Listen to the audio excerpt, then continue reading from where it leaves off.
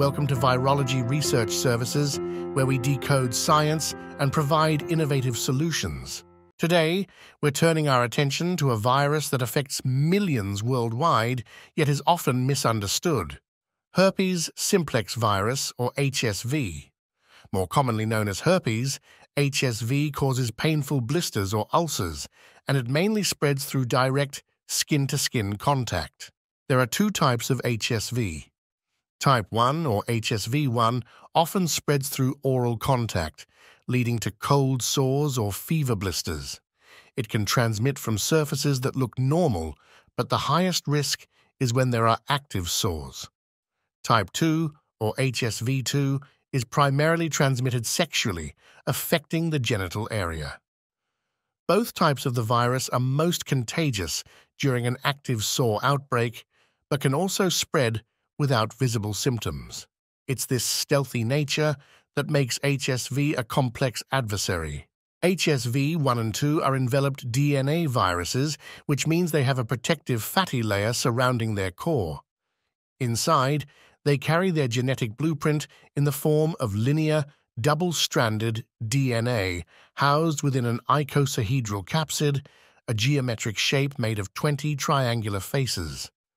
This sophisticated design not only helps them invade human cells, but also allows them to stay in the body for life, evading the immune system.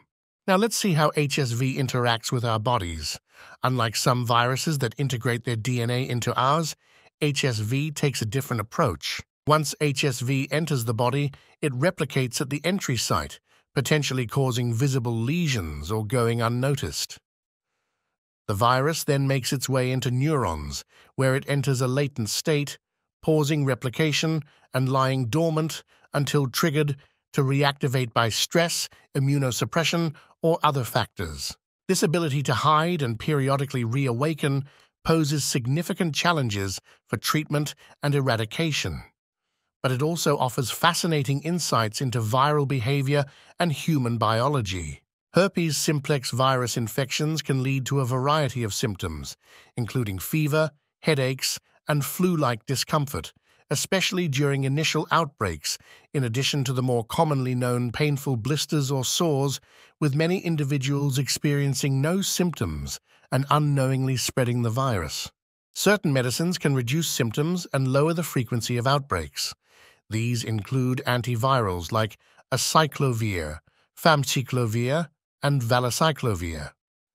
The active forms of these drugs inhibit an enzyme crucial for viral DNA synthesis.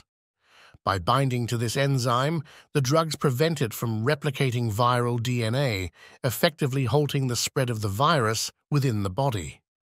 Starting treatment early, especially within 48 hours of symptom onset, can be very effective. For those managing herpes simplex virus, antiviral medications offer relief by reducing outbreak symptoms and duration. Additionally, multiple studies have highlighted monolaurin, a natural compound from coconut, as potentially effective in deactivating the virus in lab settings by targeting its protective envelope. Combining monolaurin with L-lysine could further enhance benefits, showing promising results in laboratory studies for symptom reduction and decreased recurrence. While more research is needed to confirm these effects in humans, exploring these natural remedies may provide alternative or complementary options for those seeking to manage herpes symptoms. We've taken a close look at HSV, but there's always more to learn.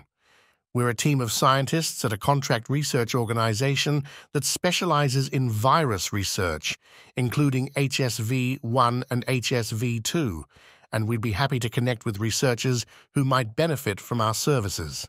And if you're into virology and enjoyed this video, follow our channel for more straightforward science content.